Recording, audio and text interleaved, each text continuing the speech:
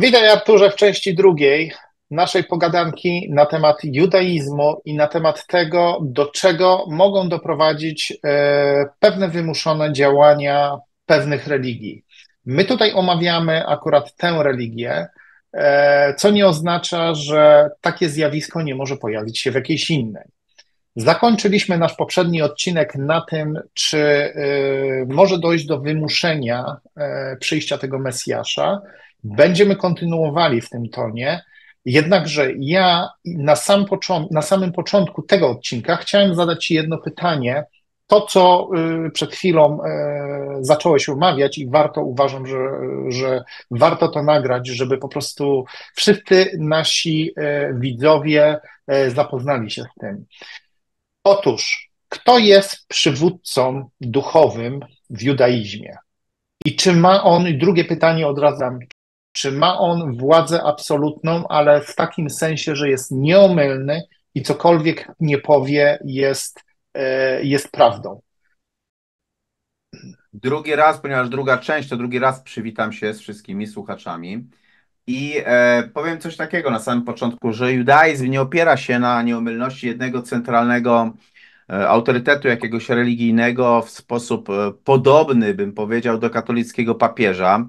Natomiast zamiast tego w judaizmie istnieje system, e, bym powiedział, zdecentralizowanej autorytatywności, w którym e, istnieją naczelni rabini, rabini, naczelni rabini różnych nurtów judaizmu, różne uczelnie talmudyczne e, i też poszczególni uczeni w piśmie, którzy mają znaczący wpływ na interpretację, na interpretację prawa religijnego, na interpretację teologii w ogóle różne wspólnoty żydowskie mogą mieć swoich naczelnych rabinów, a w judaizmie istnieje w ogóle szereg wiel, wiel, wielu nurtów, bo są nurty i ortodoksyjne, i konserwatywne, i reformowane, i też nurty rekonstrukcjonistyczne.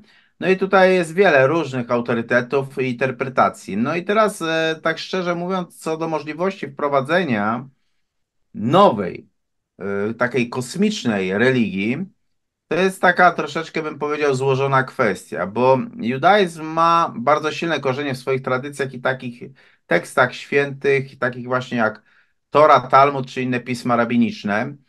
No i wprowadzenie nowej religii opartej na koncepcjach kosmicznych byłoby niezwykle trudne i prawdopodobnie, powiem szczerze, mogłoby się spotkać z dużym oporem ze strony tradycyjnych żydowskich autorytetów, ale, ale w historii judaizmu w ogóle były przypadki pojawiania się nowych nurtów, nowych idei, które wpływały na rozwój religii.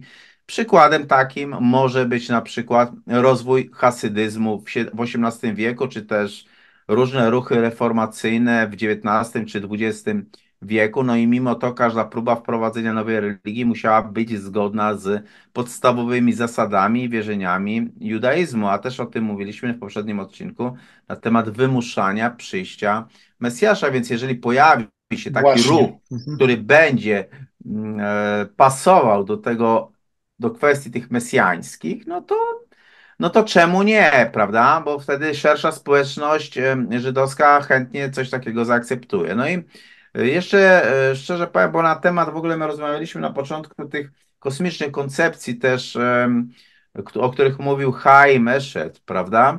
Tak. No i w przypadku tych kosmicznych koncepcji Chaima Esheda, e, społeczność żydowska, ale też inne jakieś religijne społeczności potrzebowałyby znaczących dowodów i takich autorytatywnych interpretacji, bym powiedział, aby uznać e, to wszystko za wiarygodne i wprowadzić to wszystko do swojego systemu wierzeń, co nie mówię, że nie byłoby możliwe, tak?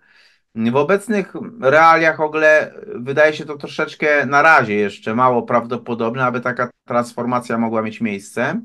Bez jakichś takich fundamentalnych dowodów, jakiegoś szerszego konsensusu, ale nie wykluczam, że coś takiego mogłoby być możliwe. A jak myślisz, co uznane byłoby za dowód, żeby na przykład y, taką religię wprowadzić? Co mogłoby być uznane za dowód? Coś. Jakiś cud, czy to? Coś, czy... co przede wszystkim miałoby odzwierciedlenie przede wszystkim w Starym Testamencie, w Piśmie Świętym. żeby można było wyraźnie powiedzieć: O, zobacz, właśnie to się wydarzyło. Być może pokażę coś jak przez przykład analogii, tak? Analogia, czyli coś bardziej niepodobne niż podobne, tak? Niby.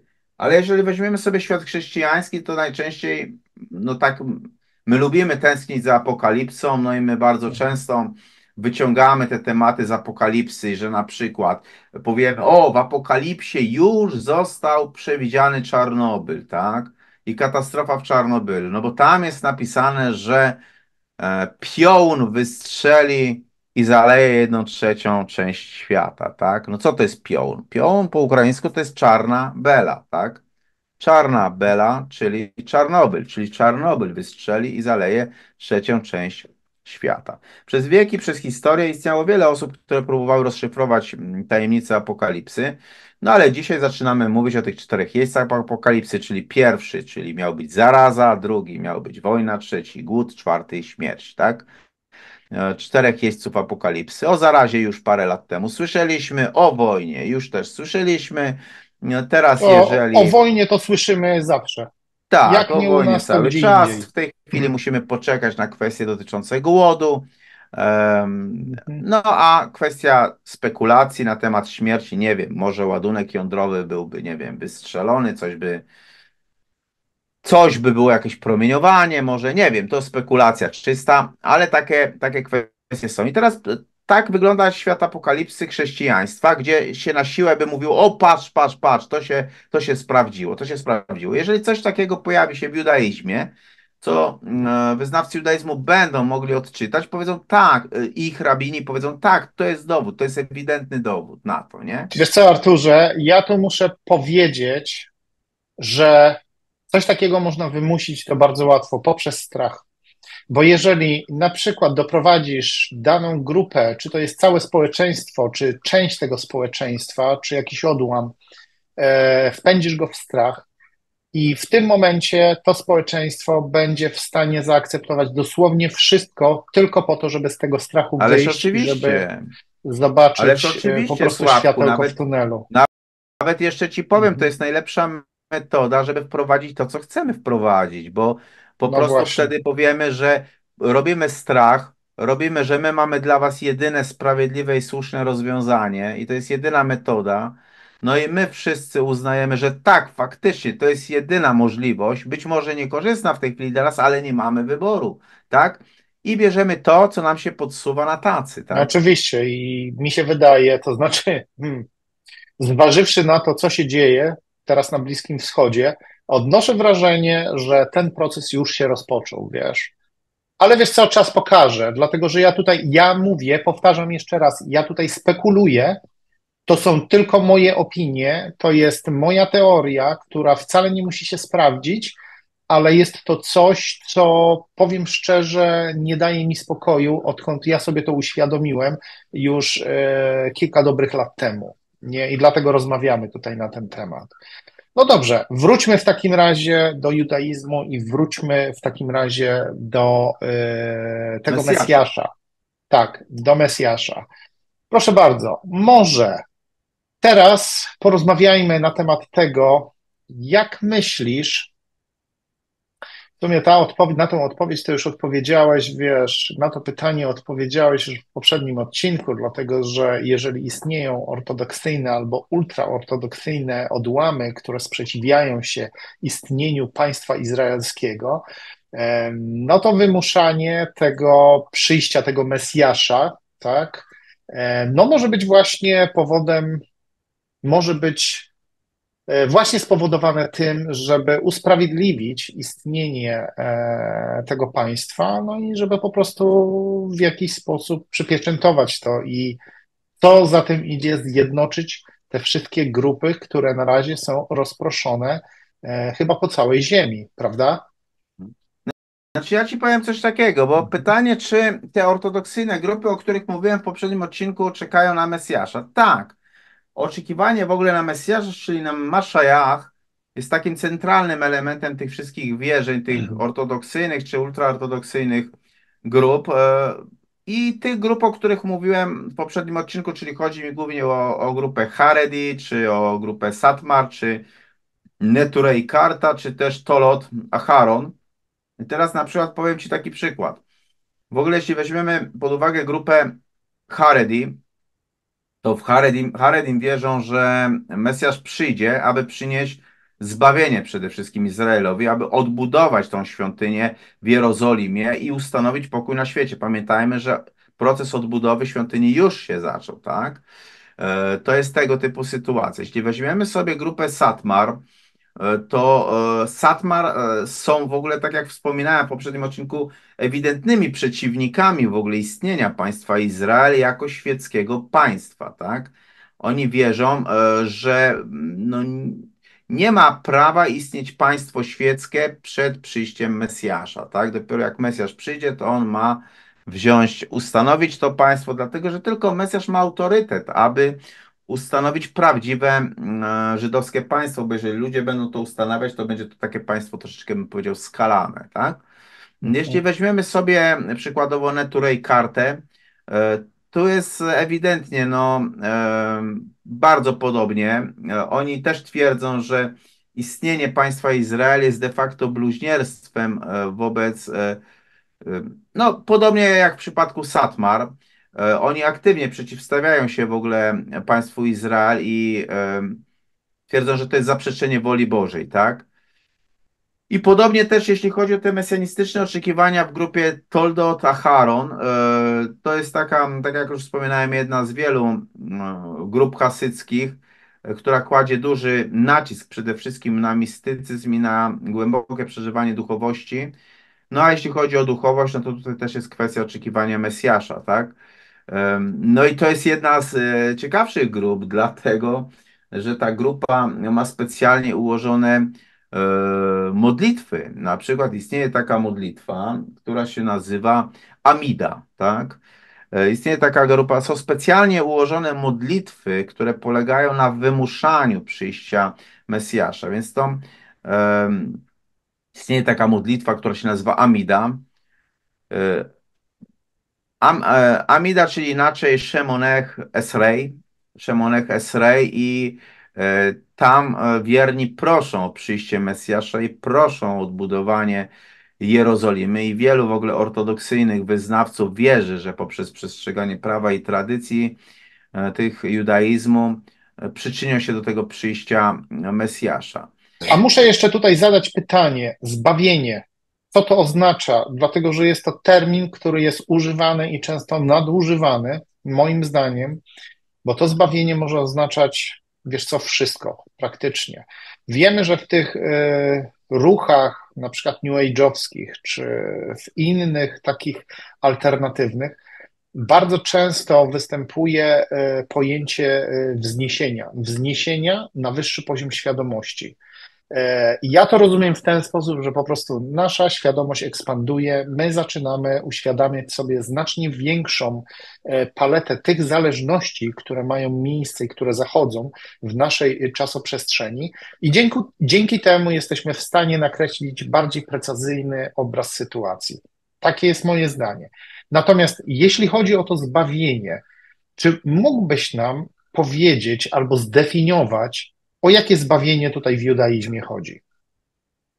Czy każdy musi umrzeć po to, żeby do, do, e, dostąpił zbawienia? Czy w jaki sposób miałoby to się odbyć? Powiem Ci tak, zbawienie, pojęcie zbawienia, czyli tej eschatologii w judaizmie jest troszeczkę inne niż w chrześcijaństwie, szczerze, mhm.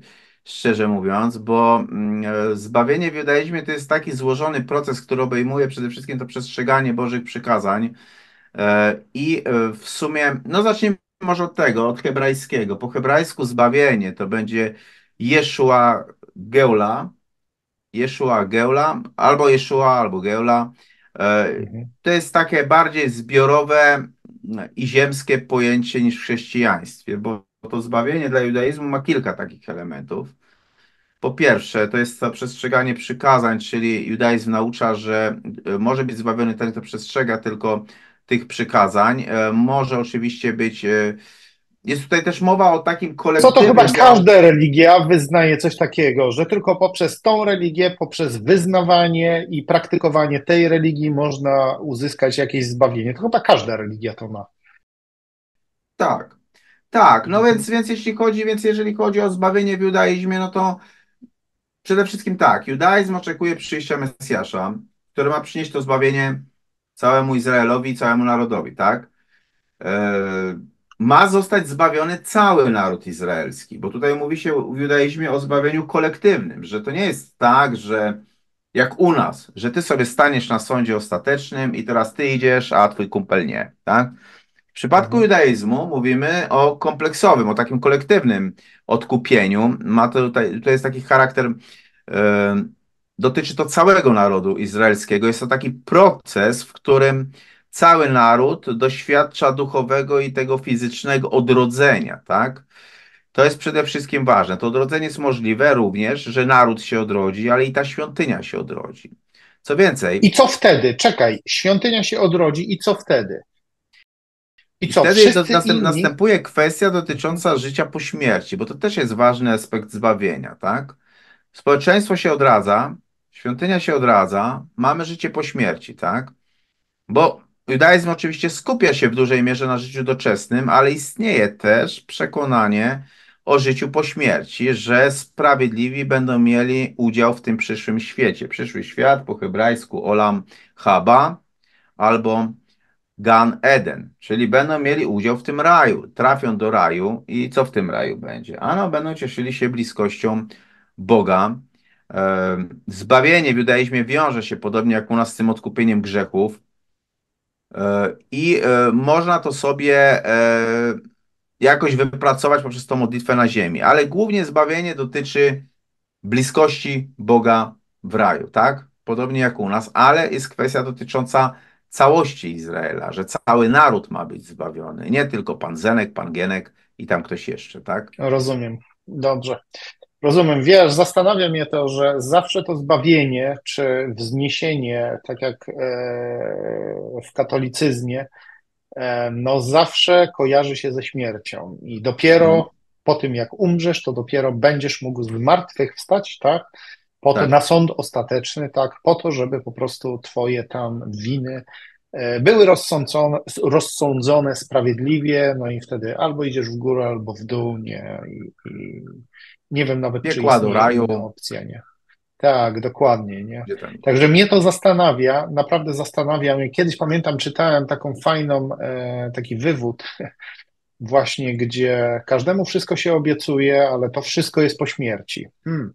No to to jest takie średnie, wiesz, nie? No ale tym można bardzo ładnie można zagrywać właśnie po to, żeby wymusić na ludziach, żeby robili to, e, no co robią na przykład teraz, nie? Po to, żeby, żeby no w tym świecie zdobyć tam jakąś dominację. No i tutaj nazywam rzeczy po imieniu. Powiem szczerze, dla mnie to jest zadziwiające, naprawdę zadziwiające jest, e, że ludzie jeszcze w jakiś sposób e, no, wierzą w coś takiego.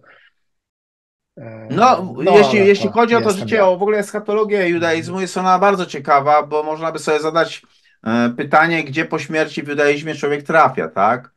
No E, właśnie, jest, gdzie? jest mowa na przykład po pierwsze o Gan Eden. Gan Eden, czyli raj, tak? No Oczywiście czekaj, to raj jest ten świat, który ma, to jest ten świat, który ma być wybudowany po tym, jak przyjdzie Tak, Mesjasz, tak? tak, Czyli tak. ten Gan Znaczy, no Eden raj będzie, gdzieś, będzie tak? po śmierci, jak Mesjasz przyjdzie, Mhm. więc e, ktoś może trafić do Gan Eden, czyli to jest takie miejsce i błogosławieństwa, i spokoju, które jest przeznaczone praktycznie tylko dla sprawiedliwych. I jest to takie miejsce, gdzie te dusze sprawiedliwych cieszą się bezpośrednią bliskością Boga i wiecznym pokojem. Bardzo często ten e, raj Eden jest utożsamiany z tym biblijnym rajem Eden, e, a ogólnie e, judaizm mówi o takich niebiańskich nagrodach. Niebiański ogród, niebiańskie nagrody tam będą. Może istnieć też, dusza sobie po śmierci może maszerować do Gehinom, czyli do Hadesu. Gehinom jest takim miejscem tymczasowego oczyszczenia, to jest taki, bym powiedział, czyściec dla dusz, które po śmierci muszą odpokutować te swoje grzechy. Jest to taki czyściec, nie jest to wieczne piekło, jak e, w niektórych tradycjach chrześcijańskich. E, I żeby było ciekawiej, Żydzi nawet mówią, że tam można trafić, ale nie dłużej niż 12 miesięcy, tak? Czyli dusza może się oczyszczać maksymalnie 12 miesięcy, tak? Istnieje też e, pojęcie w eschatologii żydowskiej, jak już mówiłem, Olam Haba. Olam Haba to jest przyszły świat, to jest taka koncepcja przyszłego e, świata, który nastanie po zmartwychwstaniu umarłych i po tym nadejściu Mesjasza, więc e, oczywiście ta koncepcja Olam Haba e, też doświadcza, że to, że to w sumie jest takie miejsce, gdzie się będzie blisko Boga.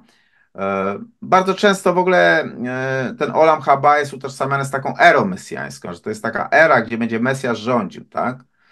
Jeśli chodzi o zmartwychwstanie umarłych po śmierci, czyli po hebrajsku Techiatha, Techiatha Metim bodajże to jest, Techiatha Metim to się nazywa po hebrajsku, to jest w judaizmie istnieje w ogóle taka wiara w te zmartwychwstanie umarłych, które nastąpi, ale w czasach właśnie mesjańskich, no i wtedy te dusze zmarłych powrócą do ciał i będą żyć w tym ciele odnowionym w świecie. Oczywiście cały czas trwa dyskusja, co e, z osobami skremowanymi, tak, bo gdzie te ciała? Czy to będą te nowe ciała zostaną ulepione na nowo, czy jak to tam ogólnie wyjdzie. No i jeszcze, mm, Czyli czekaj chwileczkę. Czyli w judaizmie nie występuje pojęcie reinkarnacji. Jest tylko jedno chciałem życie. do tego dojść. Właśnie mhm. chciałem do, do tego dojść, bo istnieje też takie pojęcie, jako już ostatnie pojęcie w eschatologii judaistycznej, które nazywa się Gilgul Neshhamot. Gilgul Neshhamot po hebrajsku oznacza reinkarnację, tak? Mm, ogólnie reinkarnacja w judaizmie nie jest powszechnie akceptowana, to jest faktem. Natomiast istnieją niektóre takie mistyczne tradycje, e, między innymi te tradycje istnieją w Kabale, e, że te mhm. niektóre mistyczne tradycje wierzą w Gilgul Neshamot, czyli w tą transmigrację dusz, tak? Tą transmigrację mhm. dusz, gdzie dusze mogą wracać na ziemię w nowych ciałach, aby wypełnić w jakiś sposób te niezrealizowane zadania duchowe. I tak wygląda pokrótce, bym powiedział, eschatologia judaizmu. Tak? Aha, rozumiem. Dobrze. Wiesz co? Ja tak myślę. Ja zacznę teraz tutaj kolejny temat, ale ten kolejny temat doprowadzi nas chyba już do końca. E, znowu oprę się o doniesienia tego Haima Eszeda. I tutaj ja już mówię, od teraz zacznie się taka jedna wielka spekulacja. Na podstawie tego, co ty powiedziałeś, na przykład, jeżeli ktoś podejmuje jakieś działanie, zawsze musi być powód jakiś, tak? Zawsze musi być jakaś potrzeba.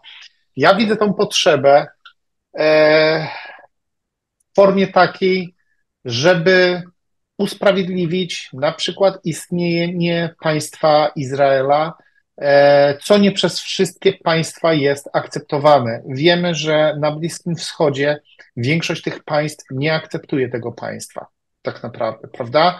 Tam chyba z tego co pamiętam, to tylko e, Emiraty Arabskie i chyba Arabia Saudyjska e, zaakceptowały istnienie tego państwa izraelskiego, a wszystkie inne E, te państwa Bliskiego Wschodu, jak tam Turcja, Syria e, i tam inne, one po prostu zaprzeczają temu, no i dążą niestety e, do tego, żeby wyeliminować to państwo z mapy po prostu całego Bliskiego Wschodu, tak? Czyli wątek jest bardzo jasny dla mnie. Mianowicie, żeby w jaki sposób usprawiedliwić istnieje egzystencję państwa izraelskiego, tak? Dobrze. Kolejnym takim wątkiem, i uważam, że może on być no, dość ważny, o ile nawet nieważniejszy, czyli zjednoczenie tych wszystkich odłamów, które powstały, które ty już wymieniłeś, no i które w jakiś sposób musiałyby właśnie przed przyjściem Mesjasza albo w czasie przyjścia Mesjasza e, zjednoczyć się właśnie po to, żeby zaakceptować tego Mesjasza, czy on będzie wymuszany, czy nie będzie wymuszany, E, no będzie to być może postrzegane jako cud. I teraz tak, ja musiałbym przejść do kolejnego kroku, który może być podjęty w tym celu. Powtarzam jeszcze raz, że ja tylko spekuluję. E, który może być podjęty. Chaim Eshet powiedział, że istnieje pewna galaktyczna federacja. Ta galaktyczna federacja siłą rzeczy musi składać się z istot pozaziemskich, z jakichś pozaziemskich cywilizacji. On nie opisuje, jakie to są cywilizacje, również nie opisuje, jakiego kształtu są te istoty. My na podstawie e, doniesień ludzi, którzy e, z dość wiarygodnych źródeł mówię, możemy wierzyć, możemy przypuszczać, że tych istot tam jest całe mnóstwo, setki, tysiące, być może nawet miliony w całej naszej galaktyce i poza nią. E, I to może doprowadzić do tego, że zostanie wyłoniony jakiś tam Mesjasz, który być może w jakiś sposób jest podobny do na przykład tego Mesjasza, który został opisywany w Torze, tak? po to, żeby właśnie e, przekonać tych ludzi do zjednoczenia, do zapoczątkowania państwa izraelskiego. Ja nie wiem, czy to ma być Bliski Wschód, czy gdzie indziej. Kto wie, czy to państwo nie będzie porozdzielane na kilka mniejszych państewek i porozrzucanych na całej ziemi. Do takiej sytuacji też może dojść. E, tak jak wiemy, na przykład Stany Zjednoczone mają swoje stany w wielu e, częściach świata. Hawaje są jednym z nich prawda? Także też może dojść do takiego czegoś.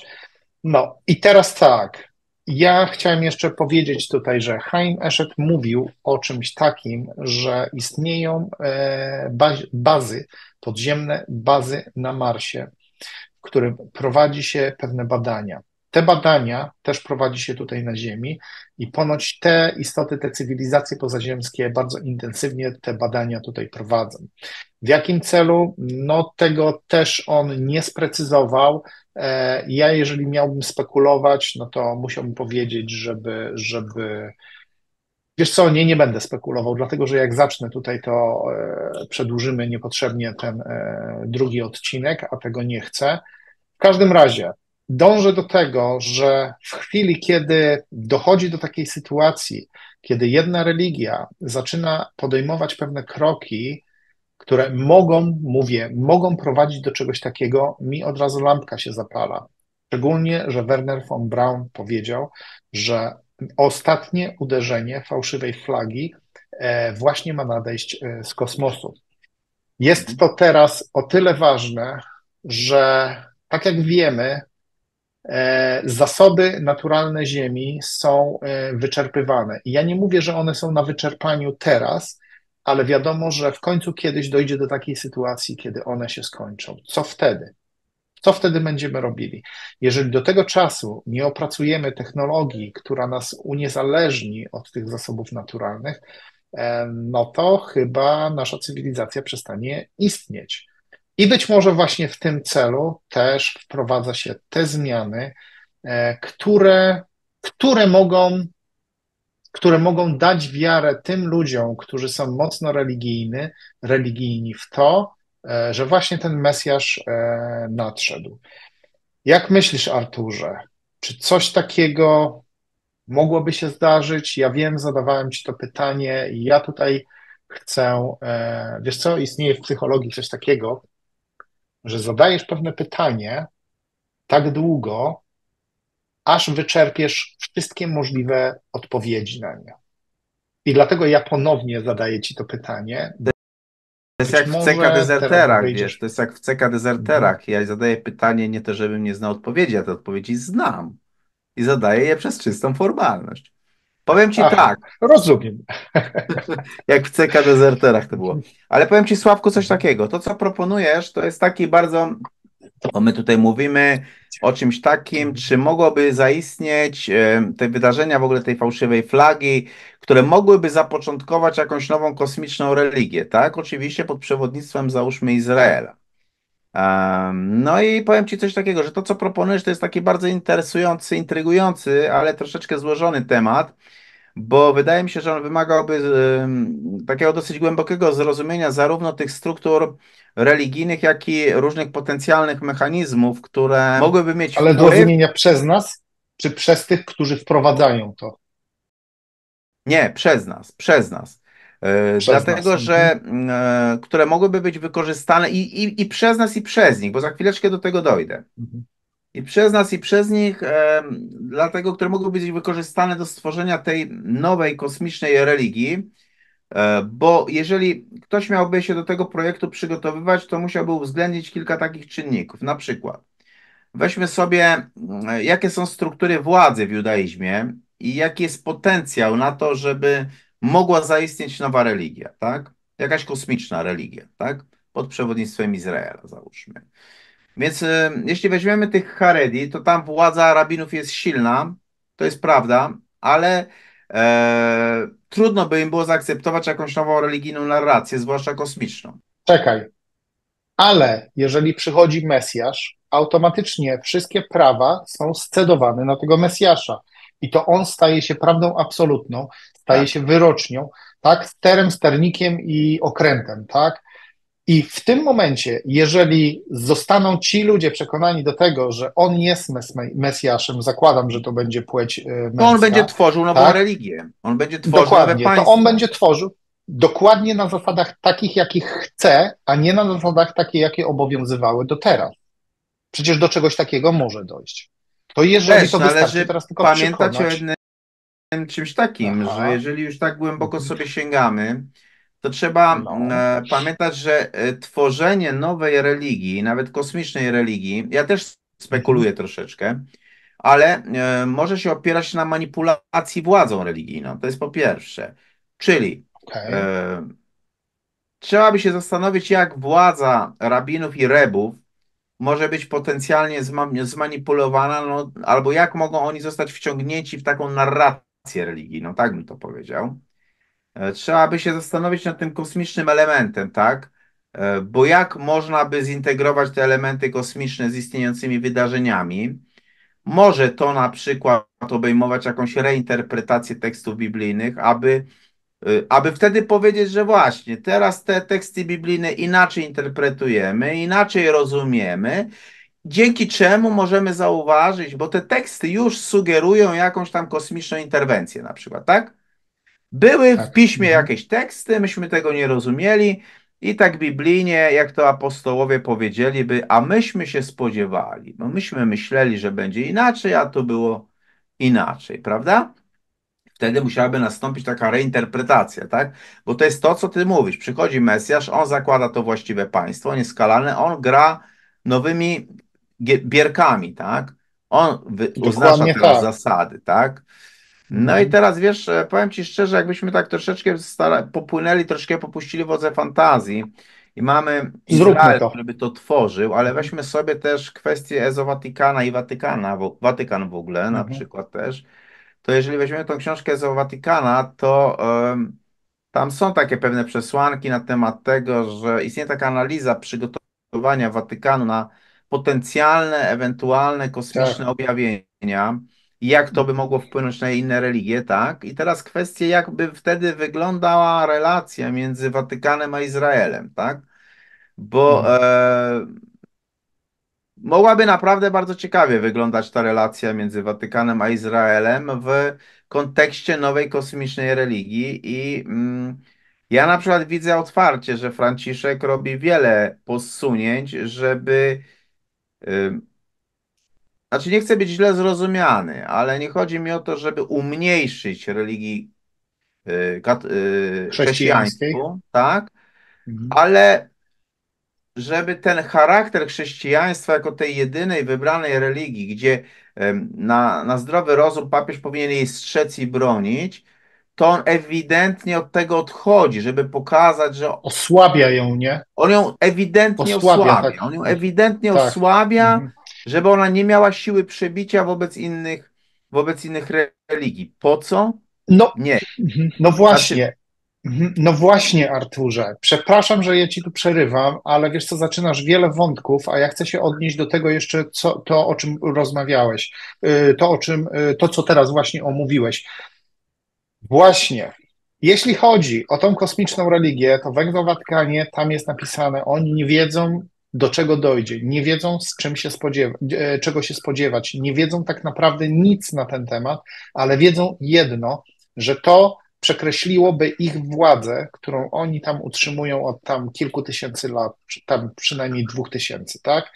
I teraz tak, jeżeli przychodzi, jeżeli mówimy o judaizmie, jeżeli przychodzi taki Mesjasz, to okazuje się, że ci wszyscy rabini, uczeni w piśmie, no będą musieli zasiąść do ławy szkolnej ponownie, dlatego że albo źle interpretowali coś e, i teraz będą musieli się nauczyć ponownie tego, e, no albo żeby utrzymać tę władzę, być może wypromują swojego Mesjasza. I ja mówię tutaj o takim scenariuszu, zarówno po stronie chrześcijańskiej, jak i po stronie judaizmu.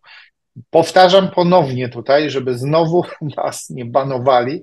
My teraz tylko spekulujemy z Arturem i zastanawiamy się, co mogłoby być. Tak jak powiedziałeś, popuszczamy e, wodze wyobraźni. Wodze tak? Tak, wodze fantazji. Bo ja widzę, że coś takiego przede wszystkim od strony technicznej jest jak najbardziej do wykonania. Mhm. Moim zdaniem grunt pod to się już przygotowuje. Tak jak mówisz, papież Franciszek teraz osłabia chrześcijaństwo, tak? Judaizm jaki jest, taki jest. Widzimy, że prowadzi teraz gigantyczną wojnę, w której e, dochodzi do no, ogromnych ofiar w ludziach. E, a RPA, z tego co pamiętam, tak naprawdę pozwało państwo izraelskie tak, tak, tak, tak. E, przed ten sąd, nie? I mhm. ONZ bardzo jasno się wypowiedział, że e, to było na ostatnio chyba na stronie BBC, że no w tam w strefie gazie, gazy dochodzi po prostu do ludobójstwa. Tak jak mówię, to jest, to możecie odgrzebać te informacje. W każdym razie, ja zmierzam do tego, że moim zdaniem grunt się przygotowuje do czegoś takiego. Dlatego też, czy naprawdę jest tak, aż tak bardzo niemożliwe, żeby do czegoś takiego doszło? To jest takie pytanie, wiesz co, rzucone weter. Możesz, wcale nie musisz, wiesz, podejmować no wiesz, to powiem pytanie. Ci tak. Nie? No w ogóle spróbujmy się zastanowić nad takimi scenariuszami tych wydarzeń, tej e, fałszywej flagi, tak? Bo może być, e, mhm.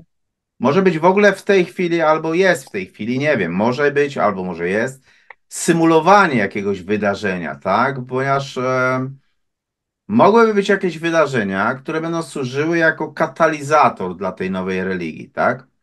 Dokładnie. To które jest katalizatorem do tej nowej religii, tak? tak. E, no i co więcej, jeżeli byśmy się dobrze zastanowili, jeszcze wpuścili w to machinę mediów, to zobaczymy mediów i propagandy w ogóle Zobaczylibyśmy, jak media mogłyby być wykorzystane ogólnie do tego, żeby promować um, tą nową religię i budować jej wiarygodność, bo trzeba by ją wypromować, tak? To, co Jeżeli zdarzyło się już 4 lata temu, prawda? Tak, tak, a widzimy siłę mediów, tak? Tak, dokładnie. Więc mhm. e, teraz trzeba, jak już byśmy ją wypromowali, tą nową religię, to trzeba by się zastanowić nad reakcją wiernych, e, bo jak e, tak duża grupa wyznawców mogłaby zareagować na te nowe objawienia e, i jak, e, jeżeli już zareagują w jakiś sposób, no to jak można by przewidzieć, jak można nimi zarządzać, tak? Tak to powiem. To jest tutaj kluczem. Jak można Dlatego, zarządzać? Dobrze. Bo musimy mhm. się przygotować mhm. na różne scenariusze i wtedy trzeba by zastanowić się, jak można zarządzać tą grupą, która nie do końca będzie przekonana, tak? A już żeśmy puścili machinę propagandy i no jesteś taki niewierny, Sławku. Już wszyscy sok z gumi jagód przyjęli, a ty jeszcze nie. Jesteś Czy nie wstyd ci? Tak. No, Czy nie, nie wstyd ci? Nie tak. wstyd ci, ciuś, ciuś, wszyscy w to nie? wierzą, a ty jeszcze nie. No, no dokładnie. Więc y, podobna sytuacja miałaby i teraz miejsce, tak? No i y, tutaj... Wiesz co? Jeśli do Masz tego tutaj byśmy, rację. Jeśli do tego byśmy punktu doszli, to też trzeba by dojść do takiego, e, do takiej kwestii, że musiałyby powstać jakieś potencjalne ruchy opozycyjne co do tego i co wtedy. Tak bym to powiedział, nie? Wiesz co, ja tutaj mówię, spekuluję dalej. Ja podejrzewam coś takiego, ponieważ to jest fakt i moim zdaniem jest to fakt niezaprzeczalny. E, religia bez ludzi nie istnieje, mhm. natomiast ludzie bez religii tak. I teraz ci ludzie są tutaj kluczem do tego, żeby dana religia istniała i żeby była kultywowana, żeby była pielęgnowana i żeby była przekazywana z pokolenia na pokolenie. Mhm. I teraz, jeśli chodzi, dlaczego mówię o tym? dlatego że grunt, który teraz się buduje pod właśnie tą kosmiczną religię, no wygląda w ten sposób, że najpierw trzeba urobić te masy ludzi, tak jak powiedziałeś dokładnie, po to, żeby ci ludzie uwierzyli w to, a przynajmniej znaczna większość tych ludzi. Jeżeli pozostanie tam 5, 10 czy nawet 20% ludzi, którzy w to nie wierzą, to nieważne. Znaczna większość ludzi będzie wierzyła i ta znaczna większość ludzi wykona pracę za tych propagandystów, którzy tak naprawdę nie będą musieli wchodzić między tłumy, dlatego że e, no, ci, którzy w to wierzą, będą mieli przewagę liczebną, tak? I teraz tak, zmierzam do tego, że moim zdaniem teraz ten grunt po prostu szykuje się pod to. I teraz ci, którzy będą chcieli zarządzać, ci, którzy będą chcieli wypromować e, tą kosmiczną religię, czy fałszywego Mesjasza, który przyszedł z kosmosu w postaci Galaktycznej Federacji, czy czegośkolwiek innego, e, no po prostu oni starają się zastanowić, na ile mogą sobie pozwolić z ludźmi po to, żeby po prostu przewidzieć reakcję tych ludzi. Ja uważam, że to wydarzenie globalne, które miało miejsce 4 lata temu, to było preludium właśnie do takiego wydarzenia. Mówię ponownie, ja tylko spekuluję, ale łączę kropki i ten obraz sytuacji po prostu tak mi się jawi. Co myślisz na ten temat? Ale oczywiście, ja ci powiem uczciwie, zanim do tego hmm. doszło, co było 4 lata temu, e, to już pewne eksperymenty robiono wcześniej. No, na przykład Finlandia robiła eksperymenty, że będzie wprowadzać pieniądz cyfrowy. E, gdzieś tam te Holandie, Belgie i Niderlandy całe robiły kwestie różnych świńskich gryp, ptasich gryp, nie wiadomo jakich jeszcze gryp, różne, tak? To, co e, w każdym z tych, każdy z tych elementów gdzieś tam w poszczególnych krajach był wprowadzany i testowany, tak? Natomiast to, co wydarzyło się 4 lata temu, miało charakter globalny. Ale też to, co ja często mówię i nazywam, że to był test na inteligencję, gdzie niektórzy się na mnie mhm. obrażali wtedy, co jest prawdą. To był test na inteligencję i to pokazało przede wszystkim, jaka jest powiem brutalnie, może ktoś się obrazi, albo ktoś się nie obrazi, jaka jest w ogóle, w ogóle wartość intelektualna danego społeczeństwa. Zobaczmy, że weźmy sobie taką Hiszpanię czy Portugalię, która w 95% przyjęła ten sok z gumi jagód i ona doszła już do ściany, a pomimo tego to im w żadnym calu nie pomogło w tych restrykcjach, tak? I weźmy sobie takie kraje jak nie wiem, Rumunia, Polska 50 na 50, załóżmy mhm. Rumunia chyba jeszcze mniej, a weźmy sobie jakieś, nie wiem, RPA, czy jakąś jeszcze inną wyspy Samoa, albo jakieś inne, które może, nie wiem, z 10% przyjęło, tak? Ogólnie. Ten, ten, ten, ten, ten sok z gumi jagód, tak? No i też, też widzimy pytanie, czy ci inni nie, nie wzięli, bo, bo co? Bo nie wierzyli? Czy być może ich nie zmuszono do tego? Czy prawda jest ogólnie taka, że ten system zaczął się za szybko sypać? Gdyby. Co, Arturze, Tutaj musielibyśmy porównywać kraje, które mają równy dostęp do internetu, do mass mediów i mniej więcej taki sam poziom edukacji, żebyśmy wyciągali wnioski. Dlatego, że jeżeli ty porównujesz na przykład jakąś Samoę, tak, czy jakieś hmm. tam wyspy Papua Nowa Gwinea, gdzie tam. No tak, gdzieś tam ktoś sobie wiesz, siedział na palmie. i tylko żyje, tak, dokładnie, nie, no to wiadomo, nie ma co porównywać. No. Tak, ale też, ale też zwróć uwagę na mhm. mentalność, na mentalność ludzi, nie? No weźmy sobie Niemców, którzy mówią tak ma być i Ordnung muss sein, no nie, no tak powiedziano, tak sein, będzie. Tak. Czyli bezgraniczna wiara w to, że rząd y, mówi dobrze, tak, no nie, że, że tak, że dąży do dobra ludzi, tak. Do dobra mhm. społeczeństwa. No u nas w Polsce mhm. też istnieją tacy nawiedzeni, co myślą, że rząd dba o ich emerytury, nie? Oni, oni wiesz, oni nie rozumieją tego, że y, rząd chciałby, żebyś najdłużej pracował i umarł przed osiągnięciem wieku emerytalnego, nie? Tak, dokładnie. Tak, bo to jest w interesie rządu, a nie to, żeby tobie dobrą emeryturę zapewnić, no nie? No ale też są tacy, którym się wydaje na przykład, że, że wiesz, że rząd chce im dać y, to, co słusznie im się należy, nie? No i weźmy sobie takiego pana Iksińskiego, nie wiem, z jakiejś Papuły Nowej Gwinei, czy gdzieś tam, czy z Samoa, który, mm. który który wyszedł na ulicę i to już niezależnie, czy to jest pan Zenek, czy to jest policjant Zenek z Papui Nowej Gwinei, czy to, Mhm. który powie, a pocałujcie mnie w dupę, wiesz?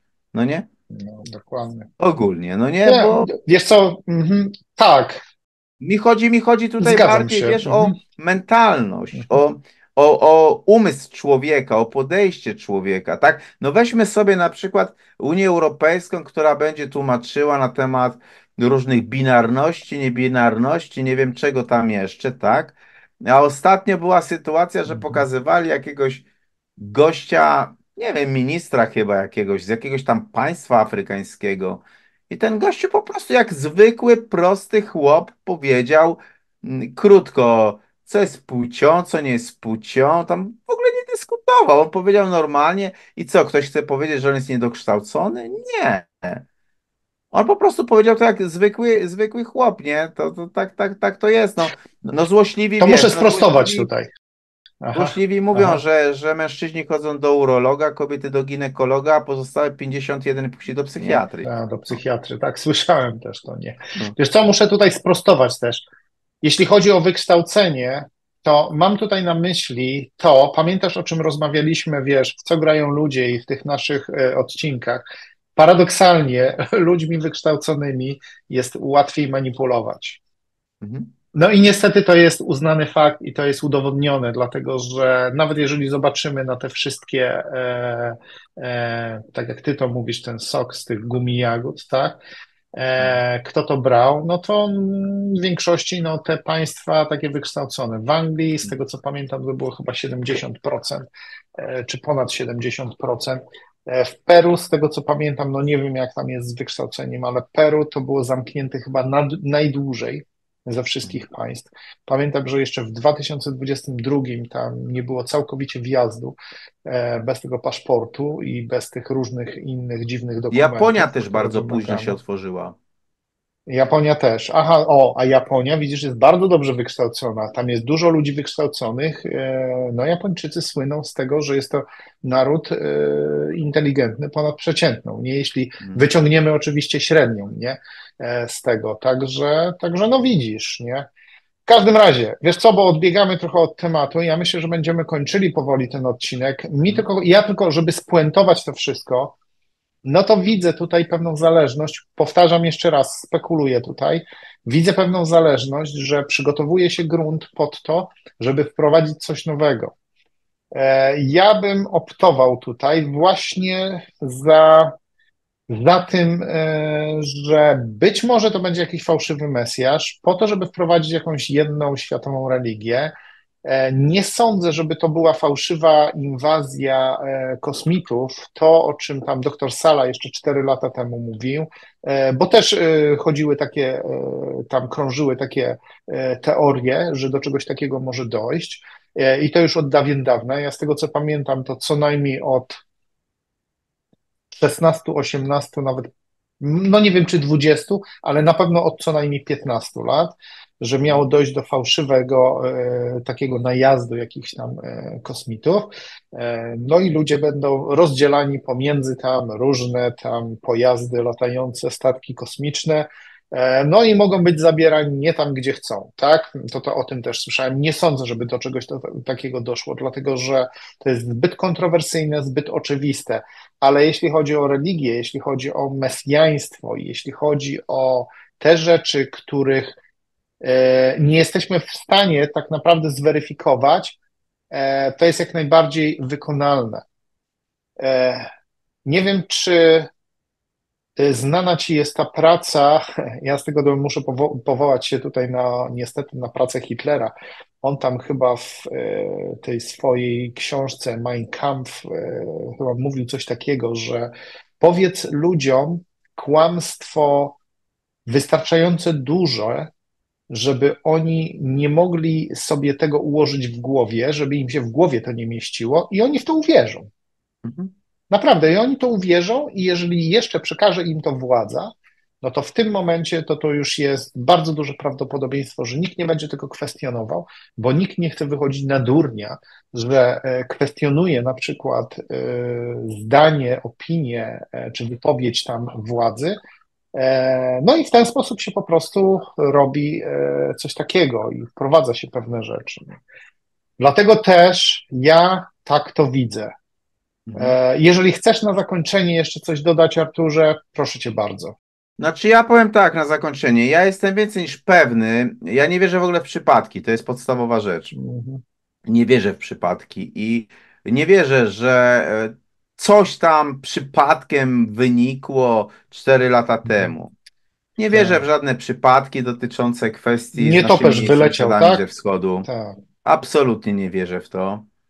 E, Ja Mhm. osobiście, e, zresztą to, co ostatnio rozmawialiśmy nawet też z Zygiem na temat kwestii Mhm. em, Trumpa, czy na przykład na temat Bidena, który w tej chwili już zrezygnował kompletnie z Tak.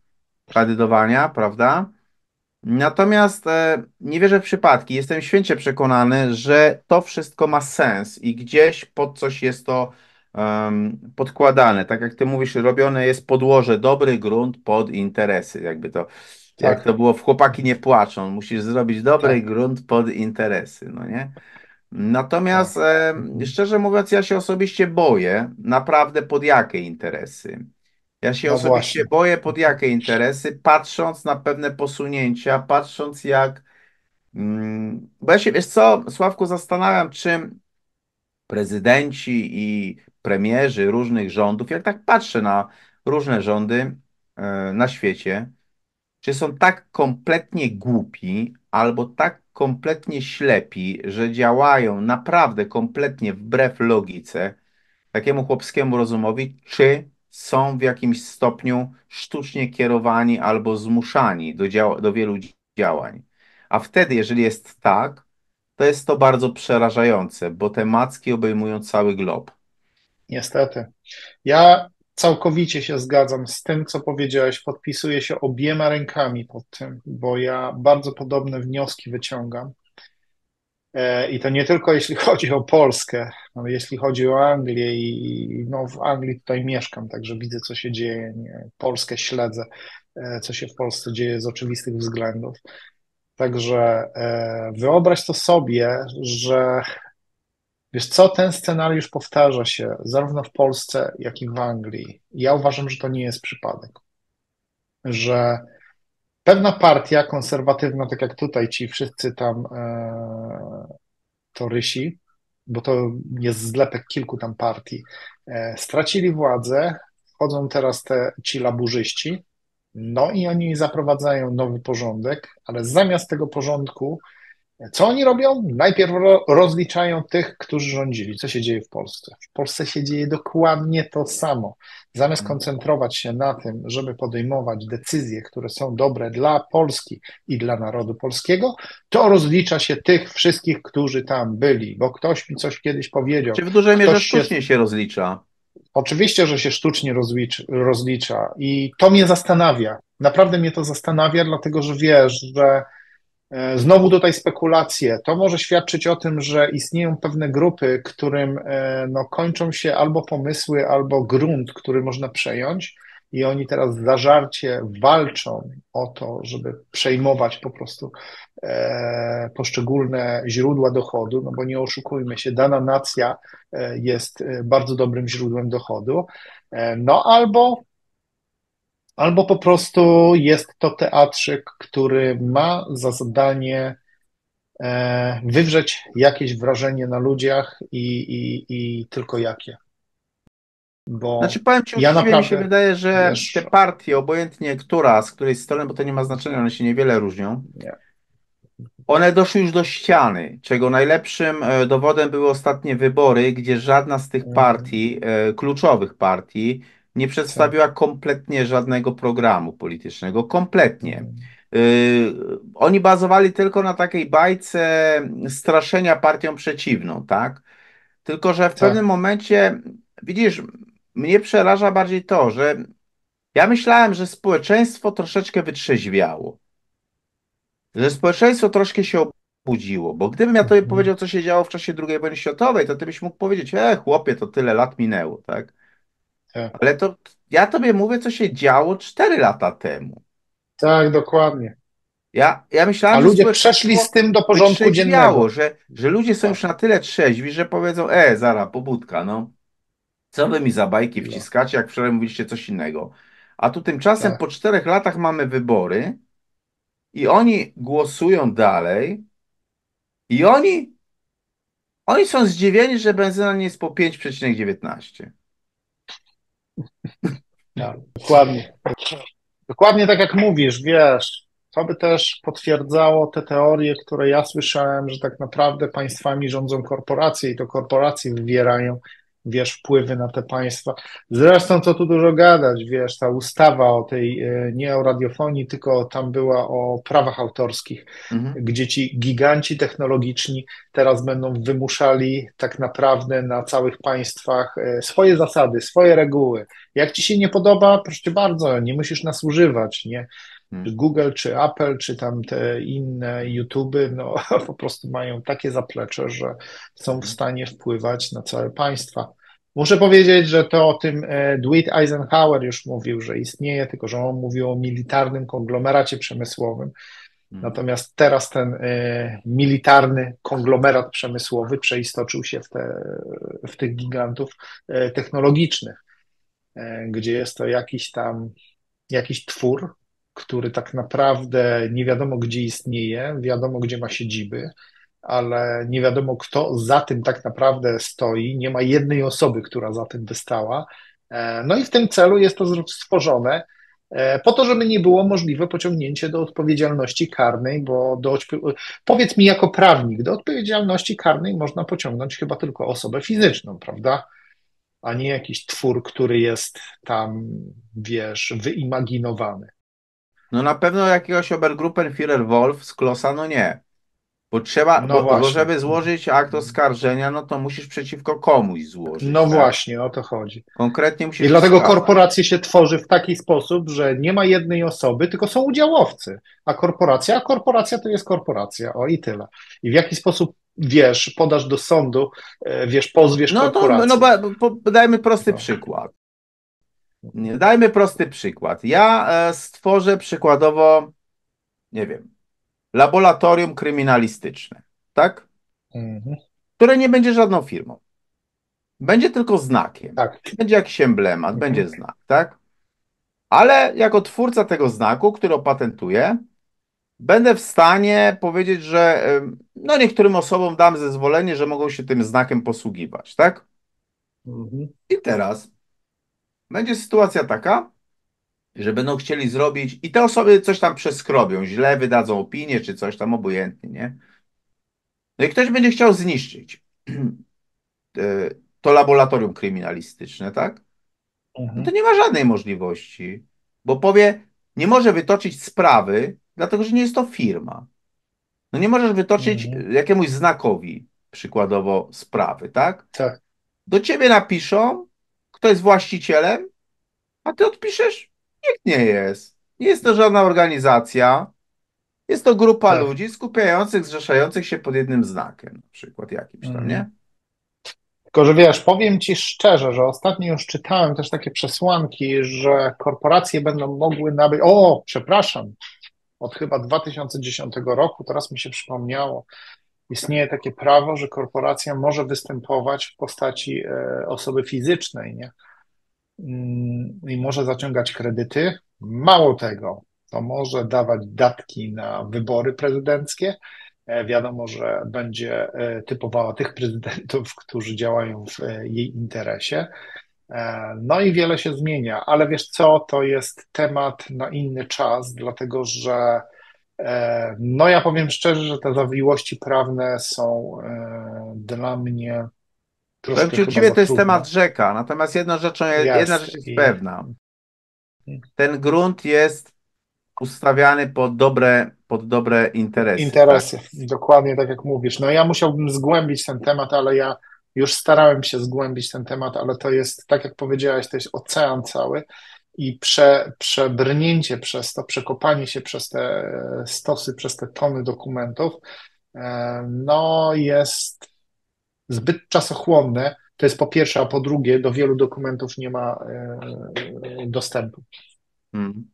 Także niestety. No dobrze, Arturze, Dziękuję Ci bardzo za Twoje wypowiedzi. Dziękuję Ci za, bardzo za, za nasze kolejne odcinki. Z Arturem na pewno spotkamy się e, ponownie e, w kolejnych pogadankach e, na tematy religijne lub inne. No i co, Arturze? Powodzenia nam wszystkim w dochodzeniu do prawdy, no i zobaczymy, czy to, co spekulowaliśmy, okaże się prawdą, czy nie. E, i czy naprawdę jesteśmy przygotowani pod następne wielkie e, wydarzenie.